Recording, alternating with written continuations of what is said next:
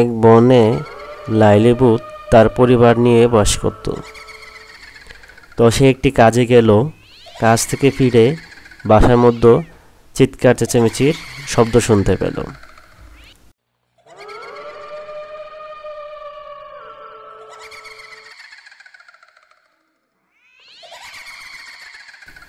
লাইলিবুতের স্বামী জিঙ্গালা এবং লাইলিবুতের সন্তান মিঙ্গালা, তাদের মধ্যে কথা কাটাকাটি হচ্ছে।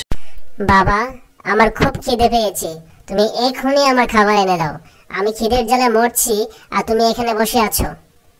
তুমি কি খাবার আনতে যাবে নাকি আমি কান্না শুরু করব? তুমি এখনই যাও।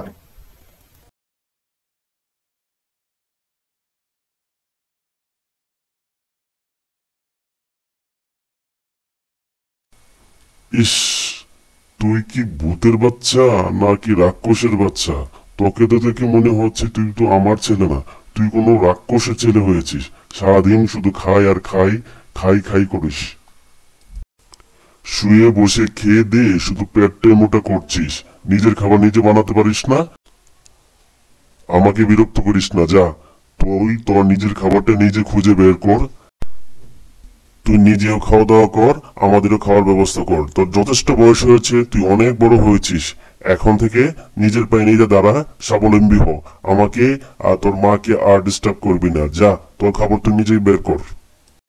তোর মতো ধামড়া চিলের যন্ত্রণা আর ভালো লাগে না। কবে যে তোর এই যন্ত্রণা থেকে মুক্তি পাবো?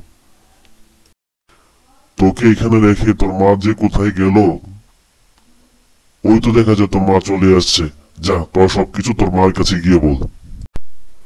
তুমি এলে তাহলে দেখো তোমার ছেলে কি বলে। কি হয়েছে মিঙ্গাল এত চিৎকার চেঁচামেচি কিসের? দেখো না মা সে কখন থেকে পেটে খিদে মরছি। বাবাকে বলছি কিছু খাবার এনে দিতে বাবার তো কোনো কর্ণপাতই করছে না। উল্টো আমায় আরও গালাগালি করছে। বলছে আমি নাকি পেটুক মোটা খেয়ে খেয়ে ভুড়ি বানাচ্ছি। মা আমি কি খুব বেশি খাই? দিনে মাত্র সাতবার খাই। এই কয়েকবেলা খাবারের জন্য বাবা কখন থেকে আমায় বকাবকি করছে? কি রাক্ষসের বাচ্চা? তোকে আমি বকাবকি করছি? আমি তোকে বকাবকি করছি? আমি তো বললাম যে তুই কাজ করে খা। নিজেরটা নিজে খুঁজে বের কর। তোকে স্বাবলম্বী হতে বলেছি। তুই তো আমার বাচ্চা না, তুই তো ভূতের বাচ্চা না। তুই একটা রাক্ষসের বাচ্চা হয়েছিস আমার ঘর থেকে। হুম বুঝেছি।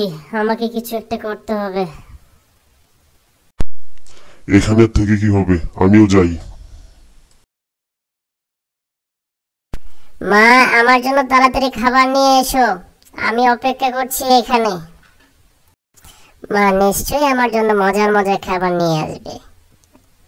আমি এ ফাঁকে একটু কি ঘুমিয়ে নেব? না থাক মা জলদি চলে আসবে। আমার আর তস হয়েছে না। কি যে মজা। তোমার জন্য মোরগ পোলাও আইসক্রিম এনেছি। খাব না সব দেখো বাবা, তোমার জন্য মিষ্টি আনছি। এই যে দেখো, এগুলো নিশ্চয়ই তোমার পছন্দ হবে। না, পছন্দ হয়নি। তাহলে বলো, তুমি কি খেতে চাও?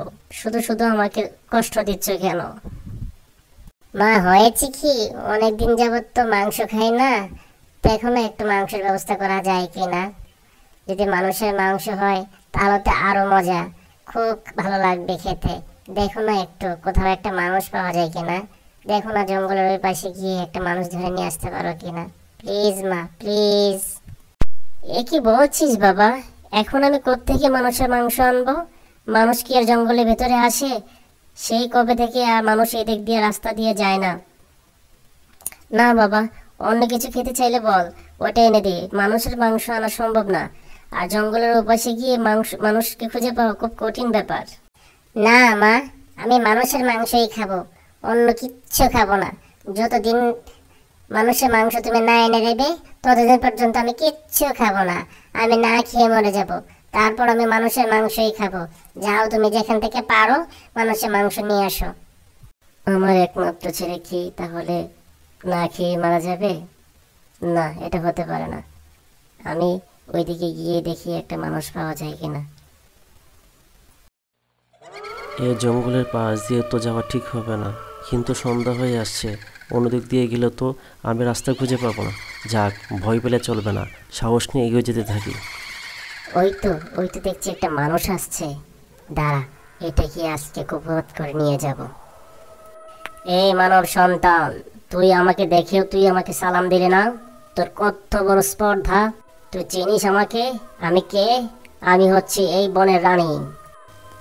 তুই এ জঙ্গলের রানী না তুই হচ্ছিস এই জঙ্গলের ডাইনি। তুই কি ভেবেছিস আমি তোকে ভয় পাবো? মোটেও না আমি কাউকে ভয় করি না। আর তোর মতো ডাইনিকে তো একদম ভয় করি না। কি? যত বড় মুখ নয় তত বড় কথা? তোর স্পর্ধা কতটুকু আমি এখনই দেখে নেব। দাঁড়া তোর কি মনে হয়েছে?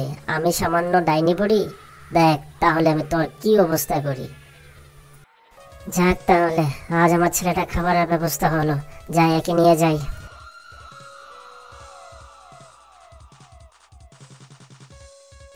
এ গল্পের পার্ট টু দেখতে চাইলে অবশ্যই কমেন্টস করে জানান।